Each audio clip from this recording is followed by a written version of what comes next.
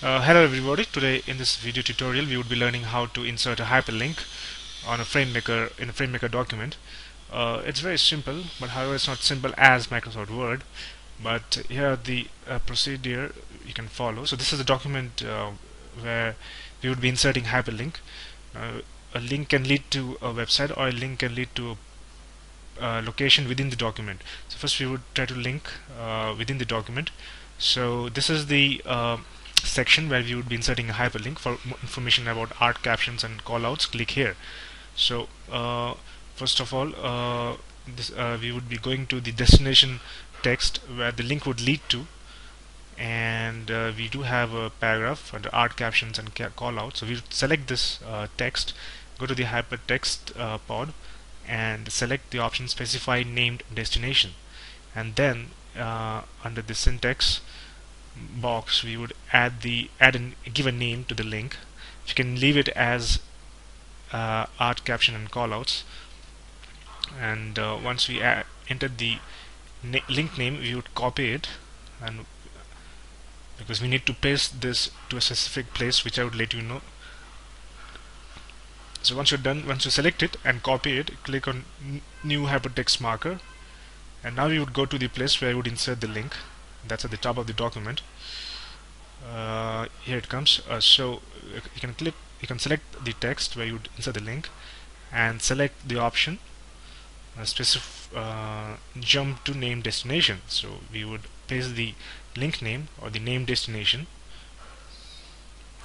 and select new hypertext mark marker.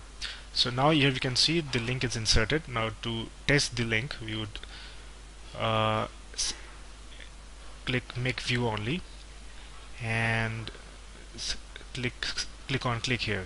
So once we do that we can we can see now we are in the destination uh, text. So it's very simple. Now we would uh, learn how to hyperlink insert a hyperlink uh, which would lead to a web website. So this is the text uh, for more information click adobe.com just select this uh, particular text and uh,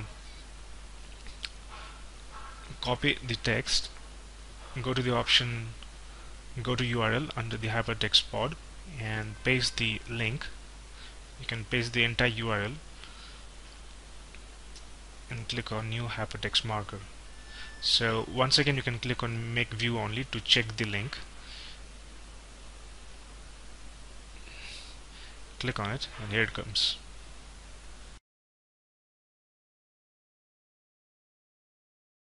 Okay, uh, now we would be uh, learning how to insert a cross-reference on a FrameMaker document.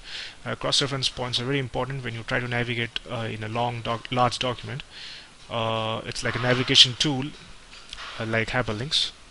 So you can cross-reference a header, heading. You can cross-reference a section or a body.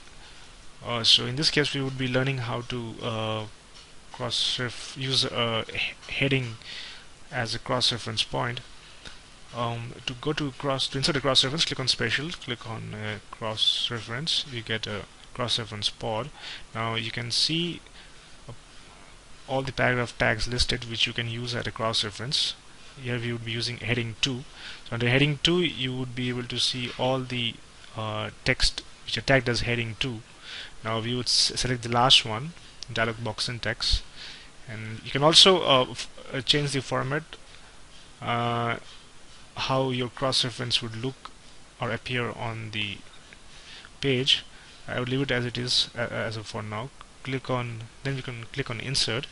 When you click on insert you can see a cross-reference link dialog box syntax so if you click on it it will lead to that particular section. So uh, in order to test it click on make view only and uh, click on the cross-reference link.